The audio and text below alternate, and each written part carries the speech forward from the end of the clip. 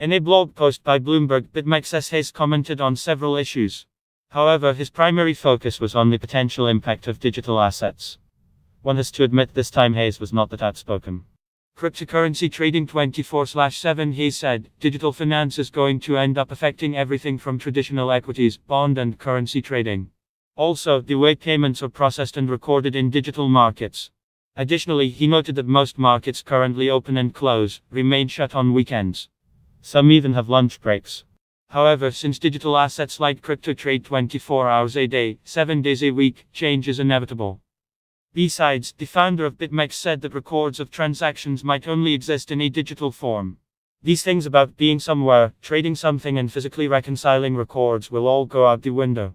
Hayes, the former Citigroup employee, believes the practice in the digital market is going to be adopted in traditional markets. Quoting him, all these things are going to seep into the traditional way stocks, bonds. You can read full post on CryptoFans. News link available in text below.